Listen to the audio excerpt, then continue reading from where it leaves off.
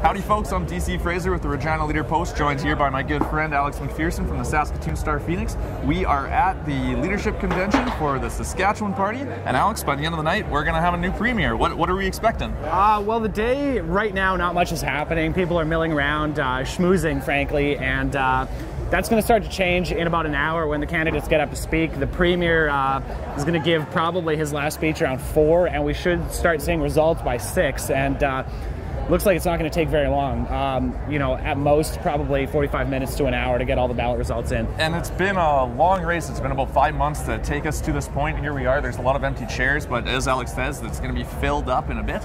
Um, and to this point, there's been a couple of highlights throughout the campaign.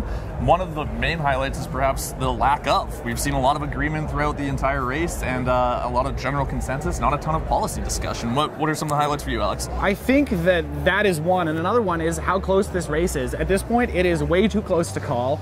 Um, I think that any one of the candidates who's going to be on stage tonight could conceivably win it. Um, some seem to have more support than others, but really nobody knows what's going to happen, and that's uh, you know sometimes unusual in a leadership race. So really, you can speculate all day, but we won't know until the ballots start coming in.